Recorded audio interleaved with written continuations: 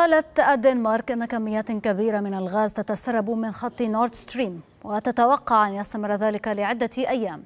هذا ورجحت رئيسة الوزراء الدنماركية ميتا فريدريكسون حدوث عمليات تخريبية وراء ثلاثة تسريبات في خطوط أنابيب الغاز الروسي والتي تمر ببحر البلطيق إلى أوروبا.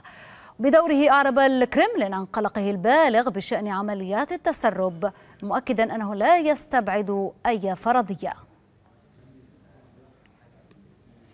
قال الرئيس الروسي فلاديمير بوتين أن الاستفتاءات الجارية في بعض المناطق الأوكرانية بشأن الانضمام لروسيا هدفها الأساسي هو إنقاذ سكان هذه المناطق. وبشأن ملف تصدير الحبوب إلى العالم أشار بوتين إلى أن موسكو تتوقع رقما قياسيا في حصاد الحبوب خلال العام الجاري مشيرا إلى أن التقديرات الأولية لحصاد العام الجاري تبلغ 150 مليون طن بما في ذلك 100 مليون طن من القمح.